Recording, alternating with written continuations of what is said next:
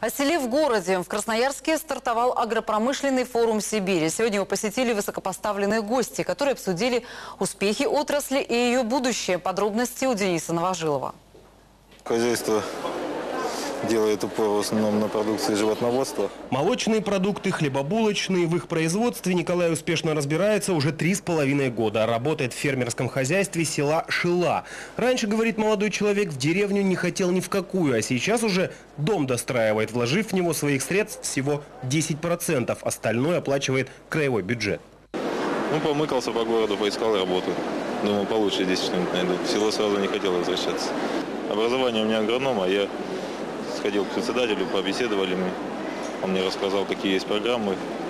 Ну, я как бы и загорелся. Вопрос стремления молодежи, да и не только ее в деревню, один из основных на повестке агропромышленного форума Сибири. Сегодня его посетили полномочный представитель президента в Сибирском округе Виктор Толоконский и глава региона Лев Кузнецов.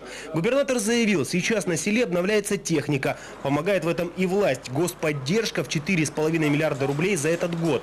Но без квалифицированных кадров сейчас никуда.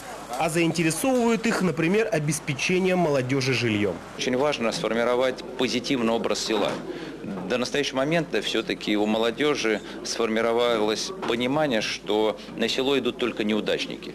Село на самом деле это есть одно из престижнейших мест работы. Во-первых, хочу поздравить сельских тружеников края за высокий результат, за высокий урожай, за то, что они выдержали очень трудный по климатическим условиям год, трудную уборку и 2,5 миллиона тонн для Красноярского края, края промышленного, иметь самый высокий показатель урожайности вообще от Урала до океана. Это большая заслуга.